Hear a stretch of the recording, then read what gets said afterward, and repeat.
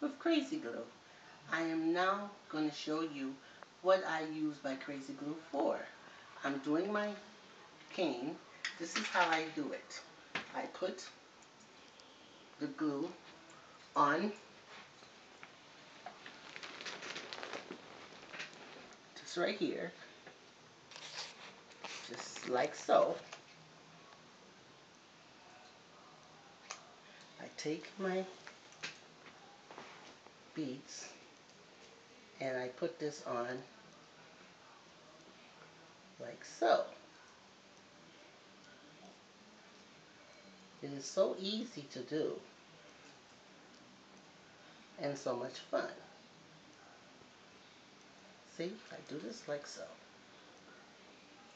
And then I continue all the way around with the crazy glue. And voila, when I get done, it will be finished like this. And this is crazy glue. I am crazy for crazy glue. Thank you very much, Crazy Glue, for enabling me to show you my project. And pretty soon, everything will be finished with my stick and I will be so icy.